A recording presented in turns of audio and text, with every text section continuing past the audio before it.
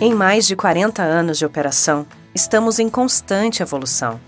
Nossa forma de agir, pensar e compreender o mundo está pautada no respeito às diferenças. Por isso, trabalhamos diariamente para oferecer um ambiente isento de discriminação, intimidação e assédio, promovendo a igualdade de oportunidades e garantindo que as pessoas sejam tratadas com dignidade e respeito.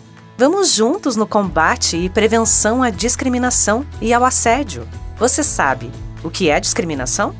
A discriminação pode ocorrer de diferentes formas, de indivíduo para indivíduo ou de grupos para indivíduos, e pode se manifestar por meio da discriminação por característica pessoal, cor da pele, classe social, convicções religiosas, gênero, orientação sexual, idade, deficiência, entre outras.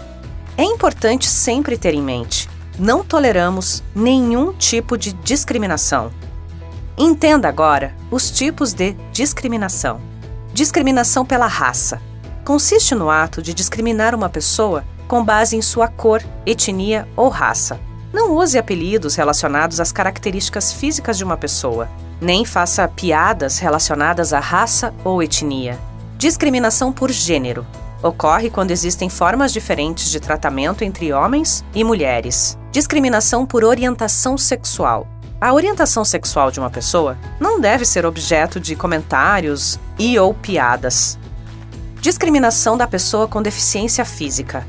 Ocorre quando há uma conduta de diferenciar pessoas, baseando-se em raciocínios infundados dos aspectos físicos ou psíquicos.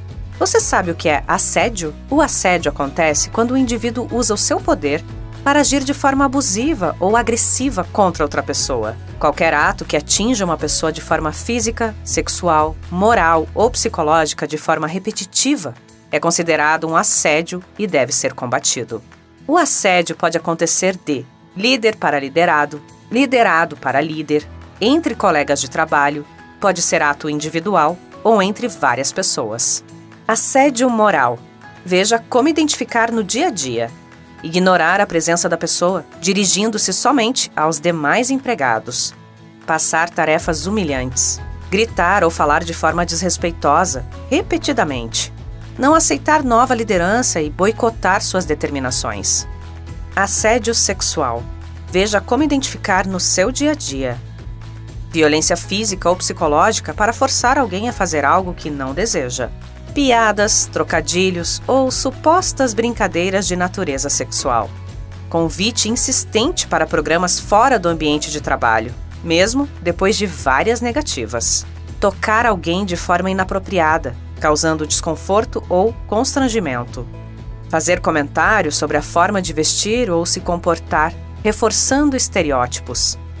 Prezamos por confiança, ética, dignidade e honestidade onde deve prevalecer o compromisso com a transparência e o respeito.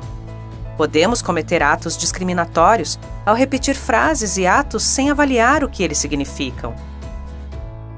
Devemos ficar atentos à forma com que tratamos outras pessoas.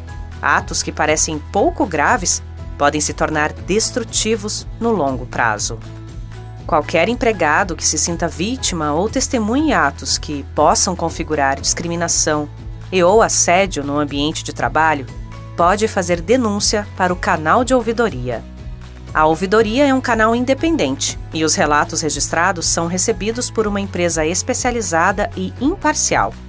Depois que a denúncia é feita, o caso é investigado com total sigilo, preservando o denunciante e a vítima. Atenção aos canais de comunicação da ouvidoria.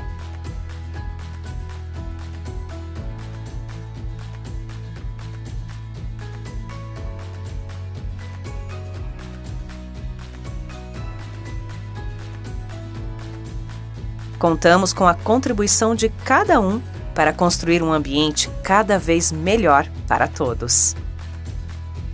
MRN